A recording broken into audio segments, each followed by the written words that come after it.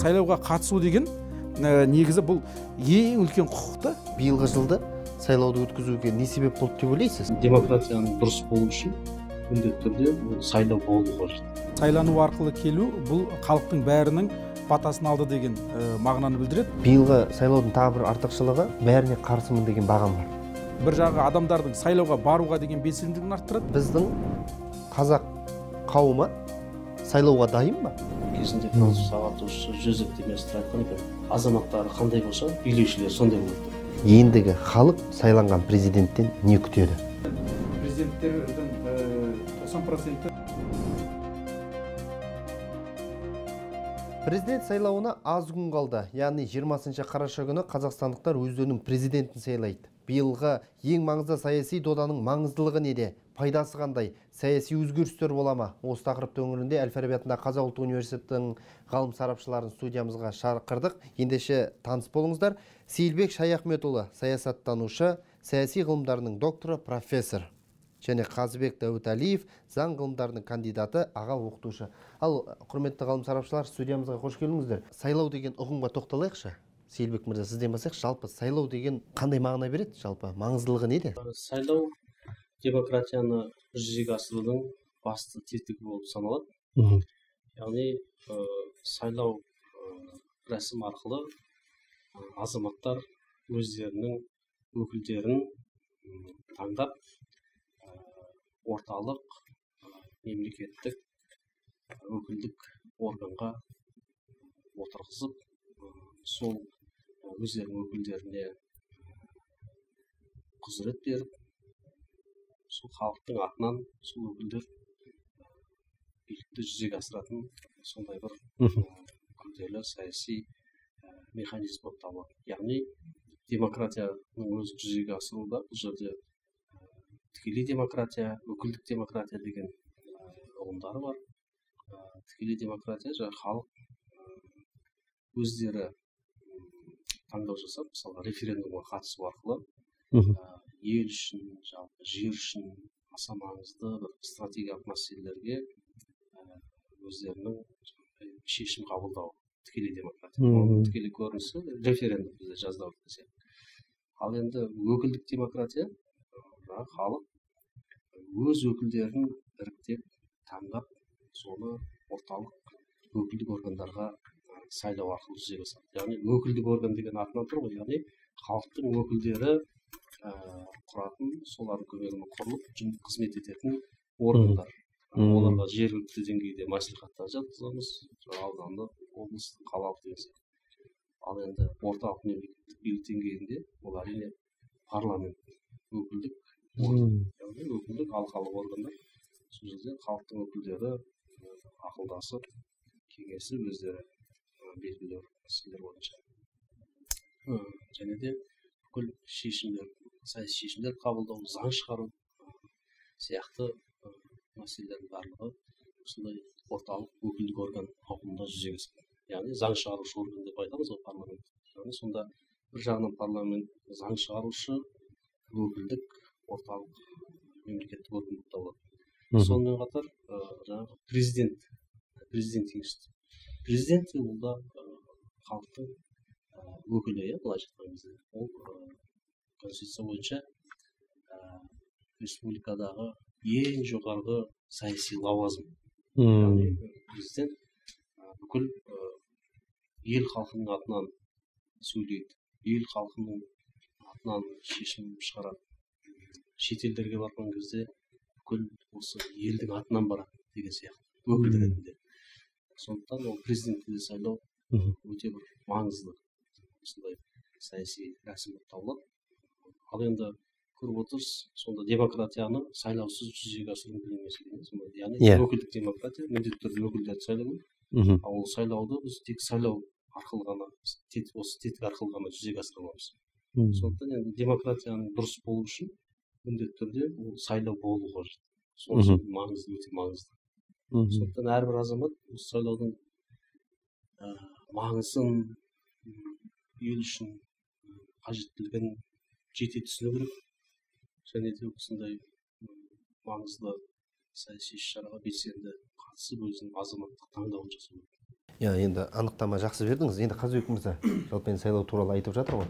Ал неге осы дәл биылғы жылы кезектен тыс президент сайлауы өтеді. Яғни саяси доданы биылғы жылғы өткізудің мәні неде? Қашанда сайлау мәселесі бұл саяси сұрақ. Өйткені сайлаудың басты атқаратын функциясы бұл легитимдендіру мәселесі. Ә, мәселен сайлаудан бөлек мемлекетті басқаруға тағайындалу ә, мәселен келісу бекітілу сияқты түрлі жолдармен келе беруге болады. Бірақ сайлану арқылы келу бұл халықтың бәрінің батасын алды деген ә, мағынаны білдіреді. Және толықтай осы екі тізгін бір шылбырды бергеннен кейін осы билікке біз бағынамыз деген мәнді ә, түсіндіреді. Енді бүгінгі ақпаратта айдында жүрген мәселелердің бірі бұл мемлекеттілігіміздің егеменділігіне конституциялық құрылыстың негіздеріне деген қауіп бар деген ақпарат бар. Шын мәнінде біз енді қазақстан республикасы тәуелсіздігімізге мына тәуелсіз ел ретінде өмір сүруімізге отыз ғана жыл болды. Бұл көп уақыт емес. Сондықтан да бұндай қауіптер өте көп болады. Әсіресе ол саяси қауіптер болуы мүмкін ол экономикалық қауіптер болуы мүмкін. Ол басқа да әлеуметтік мәдени қауіптер де болуы мүмкін. Дәл қазір жағдайда осындай қауіптердің алдын алу мақсатында бір жағы осы үшін сайлау өткізіп отыр өткізіліп отыр деп өзім ойлаймын. Енді қазыбек мырза конституциядағы өзгерістерді мақұлдады ғой. Яғни биылғы сайлау жеті жылға бір мерзіммен сайланады. Сол ережемен өтеді ғой. Иә. Биыл ә, бізде ә, конституцияға осы үстіміздегі жылы екі рет өзгерістер мен толықтырулар енгізілді. Біріншісі өздері жақсы білесіздер бұл жазда өткен референдумда. Иә ә, референдумда халық дауыс берді. Елуден астам бапқа өзгерістер мен толықтыру нормаға. Енді ол бұл көптеген жақсы жаңалықтарды алып келді. Оны жіктеп жіліктеп тарқатып талдап айтылып жатыр. Екінші өзгерістер осы күзде парламентте өз тарапынан Э, өзгеріс енгізуге құқығы бар. Конституцияға осы өзгерістер енгізілді. Э, парламент э, пен ол бойынша бұдан былай бізде қазақстан республикасында президент екі мерзімге емес бір ақ мерзімге ғана сайланатын болды. Және оның бір мерзімдегі уақыты ұлғайды. Бұрын бес жыл болатын болса енді жеті жылға дейін бір мерзімге президент бола алады бұл енді осыған қатысты көптеген сұрақтар туындап жатыр. Ә, не себепті бұлай деген сияқты түсінбеушіліктер де бар. Әрине біріншіден ә, бір мерзімге мен шектеу ә, жалпы бұл көптеген елдерде бар. Мәселен мерзім айтылмайтын елдер бар конституциясы. Мәселен францияның конституциясында президенттің қанша мерзімге сайланатыны айтылмайды да. Екі мерзіммен шектейтіндер бар сондай ақ бір мерзіммен шектейтіндер мәселен бір мерзімге жақсы мысал ретінде оңтүстік кореяны келтіруге болады.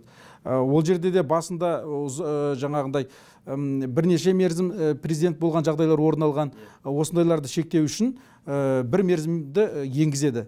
Оңтүстік корея бұның арқасында жақсы жаңағыдай белгіленді саяси реформалар жүргізе алды әрине ол жерде басқа да жағдайлар бар. Мәселен оларда президенттер көп ретте жауаптылыққа тартылып жатады. Мәселен осы күнге дейін жеті ма сегіз президенті болды. Соның біреуінің қана даудан бас аман. Қалған қалғандардың көпшілігі иә түрлі саяси сондай ақ заңи жауапкершіліктер мәселесі көтерілуде. Оны енді жаңалықтардан естіп біліп отырмыз. Екінші енді жеті жыл мерзімі мәселен туркия сияқты елдерде бар. Басқа да елдерде бар. Жеті жыл мерзім мен және бір мерзім деген екеуінің қабаттасуы бір жағынан ақталады. Қай себептен? Негізі президентке толыққанды іске асыру үшін жеті жыл беру негізді деп ойлаймын. Иә егер ол иә ол егер де бір ғана мерзіммен шектелетін болса ә, бізде ә, сондықтан да бұл енді өте аз елдер бар. Мексиканың конституциясында бар жеті жылдық мерзім. Ә, сол латын америкасының демократиясына көбірек тән яғни дамушы мемлекеттерге тән құбылыс ретінде бұл бой көтереді. Көп ретте халықаралық иә иә халықаралық иә әлемдік конституциялық практикада. Сонда қазақстанда енді артта қалған даму, дамушы және дамыған мемлекеттер деп бөлетін болсақ дамушы мемлекет жағдайында тұрмыз. Яғни бұл белгілі бір деңгейде осы дәстүрге тенденцияға сәйкес келеді деп тұжырым жасауға болады. Ал рахмет қазыбек мырза. Ал енді сейілбек мырза бана қазыбек мырза айтып жатыр ғой жалпы биылғы жылды сайлауды өткізуге не себеп болды деп ойлайсыз? Енді бұл себептерді біз ә, сыртқы және ішкі себептер деп ә, жүйелеп топтастырсақ та болады. Ә, енді сыртқы себептер ә, көріп отырсыздар. Ә, бүкіл әлемдік ауқымда ә, түрлі дағдарыстардың ә, жанжалдардың ушығып кетуі. Иә. Айналамызда соңғы уақыттың өзінде қаншама ыстық жанжал ошақтары пайда болды. Посткеңестік елдердің көзін алып қарайтын болсақ ресей украина әзірбайжан армения иә тәжікстан қырғызстан деген сияқты иә мысалға және де осындай жанжал ошақтарына өзге де үшінші тараптардың ақш еуропалық одақ нато елдері сияқты көптеген елдердің тартылып кетуі тікелей немесе жанама араласуы деген сияқты. Бұл өз кезегінде әлемдік экономикадағы қалыптасқан шаруа экономикалық байланыстардың үзілуіне түрлі дағдарыстардың ойламаған көптеген форс мажорлық жағдайлардың туындауына алып келіп жатыр да. Және де бұл міндетті түрде қазір жаһандану жағдайында әлемдік саясат пен әлемдік экономикадағы болып жатқан түрлі үдерістер ол міндетті түрде ішкі саясатқа ішкі хал ахуалға әлеуметтік экономикалық жағдайға алып келері сөзсіз. Сондықтан осындай алмағайып сәтте шынында мына жаңағы қазыбек айтқандай легитимділікті мықтап осы бір өзіміздің сыртқы қауіп қатерлерге түрлі тәуекелдерге төтеп беретіндей буынып түйініп дайын болуымыз өте маңызды. Сондықтан да бұл осы бір жағынан сыртқы тәуекелдер мен қауіп қатерлерге деген біздің бір берген жауабымыз дайындығымыз сияқты да. Ал енді қазыбек мырза ә, биылғы сайлаудың тағы бір артықшылығы ерекшелігі деуге де болады. Ә, бәріне қарсымын деген бағам бар. Бұл өткен сайлауларда ондай болмады ғой. Биыл алғашқы рет практикада иә? Иә. Енді бәріне қарсымын деген баған ә, бұл өте маңызды демократиялық рәсім ә, былайша айтқан кезде Э, адамдарды бұрындары сайлауға қатысуды міндеттейтін ә, тіпті батыстық демократиялық елдерде де заң болатын болса yeah, yeah. ә, біртіндеп ә, адамдардың ә, дауыс бермеуге де, де құқығы бар екен сайлауға қатыспау қатысу қатыспауға да сондай дауыс бермеуге де құқығы бар екендігі ә, мәселе ретінде көтеріліп бір конституциялық ә, жаңа ә, дәстүрге үрдіске айналды. Сондықтан да бұл біздің елімізде еніп отырған өте жақсы заманауи. Ә, бұл бір жағы адамдардың сайлауға баруға деген белсенділігін арттырады. Абсентеизм деген үлкен мәселе бар. Ә, оны осының да алдын алудың бір шарасы ретінде қарастыруға болады. Ә, өйткені сайлауға қатысу құқығы бұл былайша айтқан кезде адамдардың енді аристотель айтады ғой саяси жануар деп. Адам адаммен өмір бірлесіп өмір сүргеннен кейін шығатын ең басты бір мәселе бұл билік мәселесі. Соның ішіндегі жаңағы адамның өзінің бойындағы егемендігі өзіне өзі егесі мен деп ел, өзіне өзі билік ету құқығын өзге адамға бергеннен кейін ақ осы сәттен бастап үлкен ә, саяси процесс басталады. Ә, бұл процесстің бәрі заңмен анықталу керек тәртібі. Өйткені әркім өз білгенімен кетіп қалмау үшін. Және осы жерде ә, жаңағы дауыс берген кезде ә, адамдардың қатысуы да маңызды. Hmm. бізде өкінішке қарай ә, соңғы уақыттарда қазақстанда әсіресе сайлау мәдениеті төмендеп кетті. Адамдар ә, сайлауға бармайды. Ол барсақ та бармасақ та оның нәтижесі белгілі дейді. Иә. Yeah. осындай пайымдар болмас үшін сайлауға қатыстырып қатыстыруға шақыру үшін осындай қарсымын деген бағананы енгізіп отыр. Яғни бұның ең басты бір позициясы азаматтардың саяси белсенділігін азаматтық белсенділігін көтеру. Ә, және бұл конституциялық үрдіске де сәйкес келеді. Ал енді сайлау деп айтып жатырмыз. Енді халыққа тоқталайықшы. Жалпы біздің қазақ қауымы сайлауға дайын ба? Халық енді сайлауға дайын әрине. Ә, неге ә, дайын емес деп ә, ойлауға ә, бола ә, жаңа негіз бар. Өйткені енді ә, түрлі әрине ә, жаңағындай ә, пікірлер айтылады. Э, бізде енді халықты сайлауға дайын емес деген секілді. Әсіресе мәселен халық үніне құлақ асатын ә, мемлекет э, концепциясын іске асыру мақсатында ә, осыдан бір жыл бұрын былтырғы жылғы жаздан бастап ә, ауылдық округ әкімдері сайланып басталды. Ә, бұл, бұл мәселеге ә, былайша айтқанда саяси ерік қана қажет еді. Бізде осы күнге дейін дауласып ауыл әкімдерін сайлаймыз ба сайламаймыз ба сайласақ ә, бұл қазақтар ә, жаңағы рушылдық тағы да басқа ә, дүниелерге ауып кетеді де сайлаудың демократиялық мәні бұзылады деген долбарлар айтылып жүрді. Қазір нәтиже көрсетіп отқандай ондай ә, бір ә, сұрақтар соншалық жүйелі түрде туындап отқан жоқ. Өйткені халық ә, әділетті мемлекет құруға қоғам орнатуға дайын. Ә, ол үшін мәселен өзінің руласы болсын басқасы болсын ә, одан аттап өтіп дәл ә, жаңағы заң бойынша жұмыс жасайтын әділет бойынша жұмыс жасайтын азаматтарды қолдауға дайын. Оған енді өзім де халықтың арасында жүргеннен кейін көріп біліп отырмыз. Қоғамдық кеңес алматы облыстық қоғамдық кеңесінің мүшесімін. Оның алдында праймеризге де қатыстық. Халық ол мәселен туысқандық тағы басқа принципті екінші қатарға қояды. Әрине ол ә, инструментте жұмыс жасайды қандай ретте? Егер де ә, сайлауды ұйымдастыру әділетті болмаса соған халықтың көрсеткен әлеуметтік қарсылығы ретінде олар туыстық ә, тағы да басқа орта ғасырлық консерваторлық ә, инструменттерге жүгінеді. Ә, мәселен қанды кек деген институт бар ғой жаңағы. Ол ә, соттан әділетін таппаған жағдайда барып тальон принципін қолданады жаңағы. Мемлекет кепілдік берген. Сол сияқты сайлауда әділетсіз ұйымдастырылып әкімдер ә, жаңағындай ә, өздерінің ресурстарын қолданып жатқан жағдайда ә, осындай жаңағы орта ғасырлық консервативті деп атап жүрген бірақ ол тырнақша ішінде айтылып отырған ұғым ә, инструменттер оянып өздерінің қарсылығын көрсетеді. Бұл да дұрыс нәрсе. Халық демократияға дайын екі бастан. Ә, осы сайлауға біз ә, белсенді түрде қатыстыруымыз керек. Әрине бақылаушылар ұйымын ә, қызметін арттыруымыз керек қолдау жасалу керек. Ә, тағы да басқа да жұмыстар шаралар жүргізілу керек. Жалпы ә, сайлауға қатысу деген ә, негізі бұл ең үлкен құқық та адамның халық ретіндегі құқығы азамат ретіндегі құқығы. Бұл деген бұл мәртебе біле білетін болсақ. Жалпы билік халыққа тиесілі дейміз бірақ халық ұғымына мәселен бұл- осы бір мың алдыңғы ғасырдың бірінші жартысына дейін ақш та әйелдер кір- кірген жоқ болатын. Өйткені әйелдер сайлауға қатыса алмайтын. Бұрын кедейлер кіре алмаған. Мүлкің жоқ па сен халық ұғымына кіре алмайсың азамат сайлауға дауыс бере алмайсың.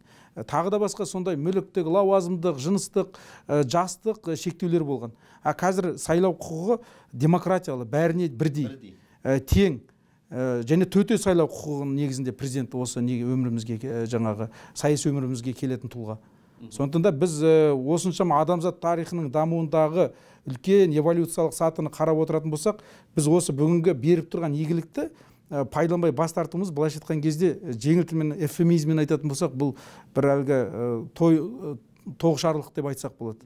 Ә, сондықтан бұдан бас тартпау керек керісінше қатысу керек. Енді мен бұл сұрақты қойған себебім ә, бізде қоғамда бар кейбір адамдар бейтарап қарайтындар да бар. Мен даусым шешпейді дегендер де бар. Сондықтан ал сейілбек мырза сіз қалай ойлайсыз? Бізде сайлау мәдениеті қалыптасқан ба?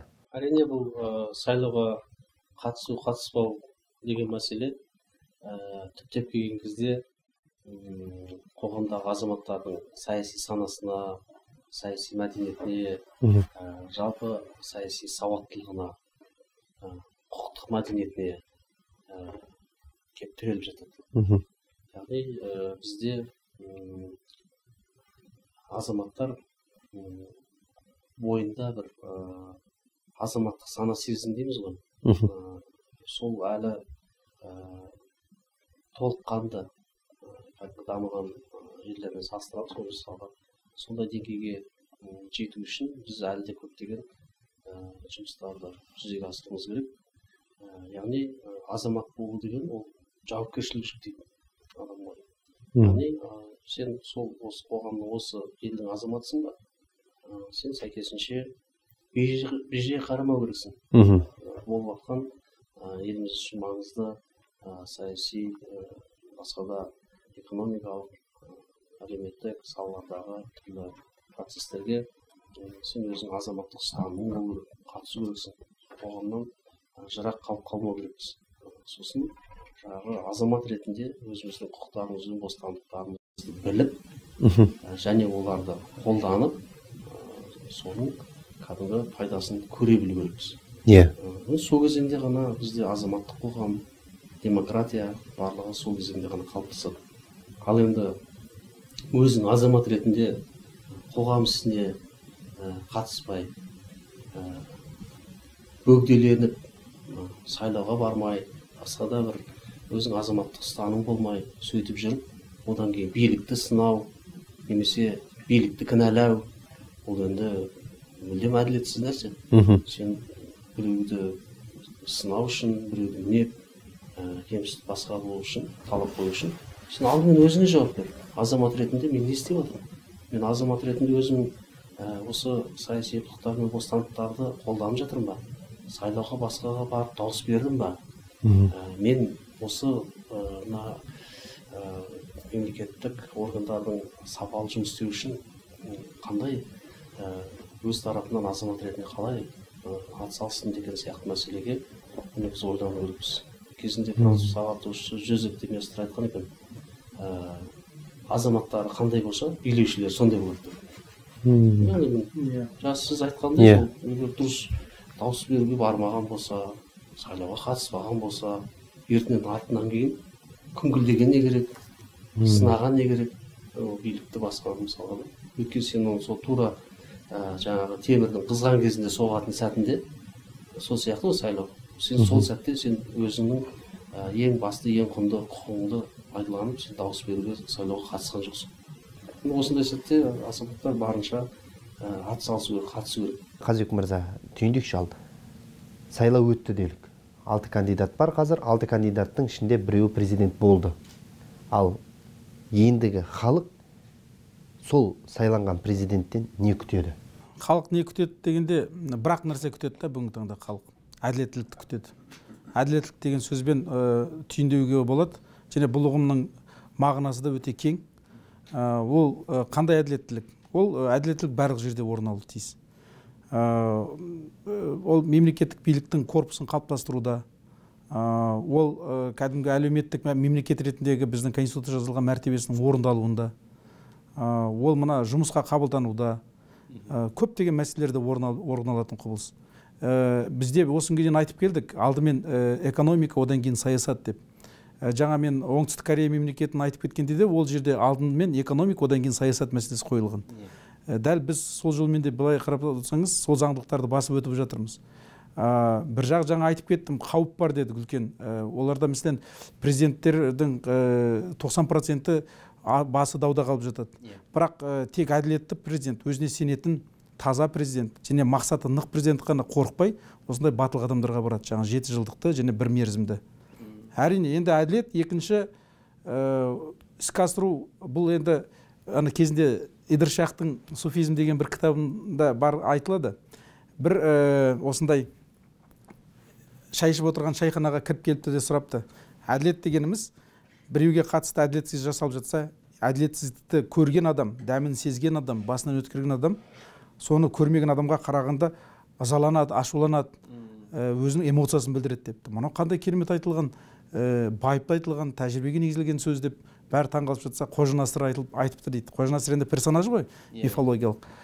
Білесіз ба депті әділеттілік дегеніміз егер де сол сіз әділетсіздік деп отырған дүние сізге игілік алып келетін болса сіздің пайдаңызға жараса оны сірә де әділетсіздік деп айтуға бола ма депті. Сол сияқты әділетсіздік әділет ұғымы да үлкен мәселе. Бұл құқық ғылымында да қарастырылу керек соның ішінде жаңағы утилитарлық ә, ә, та- танымнан да бас тартуымыз керек. Ә, әділеттілік дегеніміз ең бірінші ә, құқықтың үстемдігі. Ал құқық ол ә, оның мәнінде өзінде ә- үш үлкен ә, принцип тұрады. Соның бірі әділеттілік біреуі теңдік біреуі бостандық. Ә, сондықтан да мен енді ойлаймын бүгін осы нәрсе өте қажетті. Осыны халық алдағы сайланатын президенттен күтіп отыр. Ал сейілбек мырза. Қазыбек мырзаның айтқандарын толық қолдаймын. Бірақ енді біз мынаны түсінуіміз керек.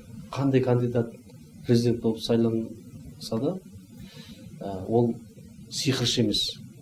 Ол бір адам президент болып сайланғаннан кейін жаңағы сиқырлы таяқшаны серпіп қалып бүкіл қоғамды жайнатып өзгертіп жіберетін ондай құдірет жоқ Иә. ешқандай адамда. Ол президент болып сайланған адам ол бүкіл қоғамға стратегиялық бағыт бағдарды айқындап өзінің бағдарламаларымен сол жүзеге асыруға бізді бастаушы. Ал сейілбек мырза қазыбек мырза бағдарламамызға келіп ой талқылағандарыңыз үшін бек рахмет. Енді жиырмасыншы қараша күні өзіміздің таңдауымызды жасаймыз. Соған саяси науқанға барра барша қазақстандықтарды шақырамыз. Сіздерге рахмет көп көп